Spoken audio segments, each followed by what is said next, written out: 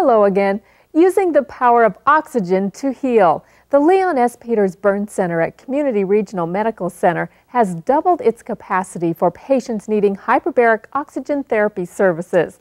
The center is the first with board certified staff in HBO therapy in the Valley. That's good news for critically wounded or outpatients. What we have here is the. Uh, Dr. Kent Yamaguchi and John Kampschmidt inspect the new hyperbaric oxygen chambers at community regional medical centers in Fresno. The expanded hyperbaric services at Community Regional means better patient care in the Central Valley.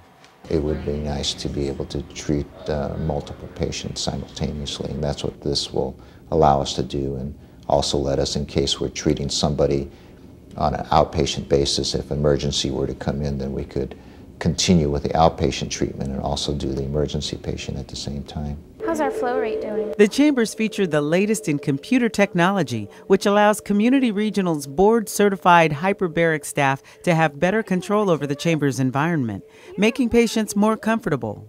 Uh, it's the equivalent of being under uh, pressure of 33 to 45 feet of seawater, and people who are divers know that that can cause uh, uh, barotrauma or sinus squeeze, as we call it, and that is just generally a stretching of the eardrum. Okay, let us know if you have any problems with your ears.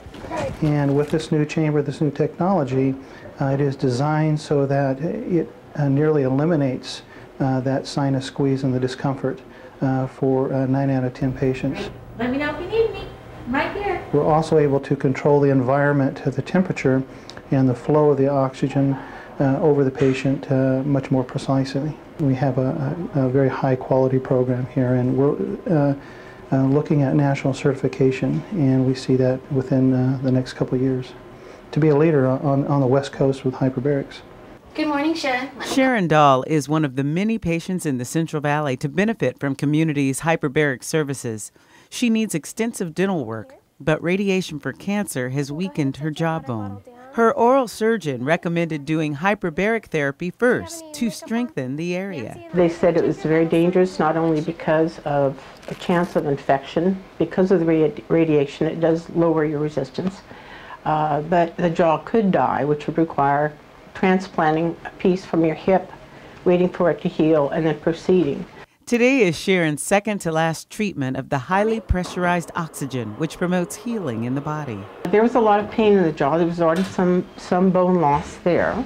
And uh, after the treatment so far, uh, it feels just perfectly normal. The high oxygen level stimulates the blood vessels to grow into an area that previously had too few or maybe even uh, no uh, blood vessels, and the blood vessels are then carrying the oxygen and the protein in the cells that it will then be the basis for the healing of the wound. Dr. Yamaguchi says medical supervision is necessary for hyperbaric treatments, and there also is a limit to how many treatments a patient should have in a lifetime. We will only use the uh, treatments for those that have scientific evidence that there's going to be of some benefit. As one of the few patients to have experienced both the old chamber and the new, Sharon does notice a difference. The chambers are larger, offer more view, and are easier on the ears. What she says has not changed is the great care she always receives. 40% of our, our total staff is trained to do hyperbarics. We have currently four uh, critically uh, care trained nurses that, uh, and that's a high level expertise that is gained over of, uh, many years of, of, hyperbaric training. And so uh, we, there are probably only four uh, to five uh, critically care trained hyperbaric nurses in the whole Central Valley. And uh, that is a, a unique designation for us. Okay, all done. With her jaw now healing, Sharon says it makes every hour spent in the chamber worth it. That's great to hear, Sharon. We wish you the best of luck. For more information on Community's hyperbaric oxygen therapy, go online to our website at medwatchtoday.com.